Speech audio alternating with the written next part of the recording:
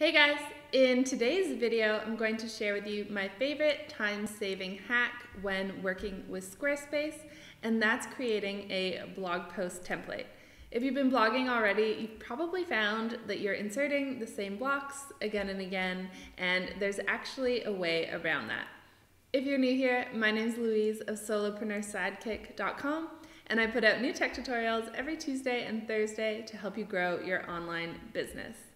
Okay, let's get started. So here is one of my blog posts. And as you can see, I have a sidebar, I have a blog post graphic, a video, as well as a button telling you to subscribe to my YouTube channel because I really want you to do that. Um, and all of my blog posts follow this same structure. So rather than having to reinsert these blocks each time, it's much faster to create a template. So in Squarespace, you're going to go to your blog area, then just click on the plus sign here, and you're going to title this blog post template.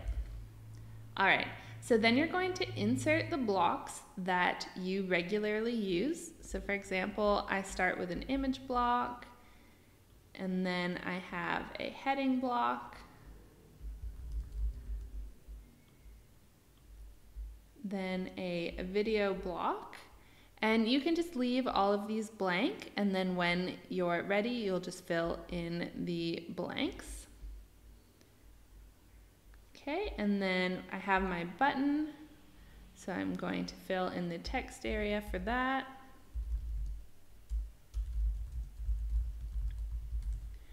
And type in the link, so this is going to save me a lot of time, so I don't have to search for that.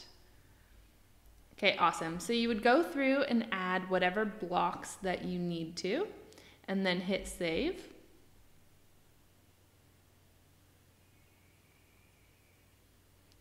And then anytime that you go to write a post, you're going to click on this blog post template, click edit, and then you're going to hit duplicate.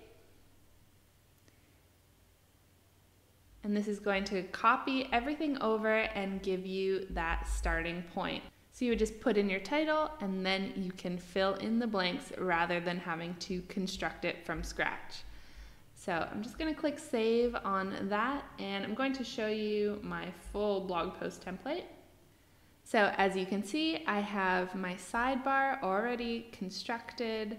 I have my image, my video, my subscribe button, then down at the bottom of every post, I have an area. Uh, this is my ConvertKit code so that you can sign up to get my free guide. And then I have share buttons in here. So that's my code block already copied over, another button, and a little about me section. So that's already done and saves me a ton of time. And I hope it will do the same for you.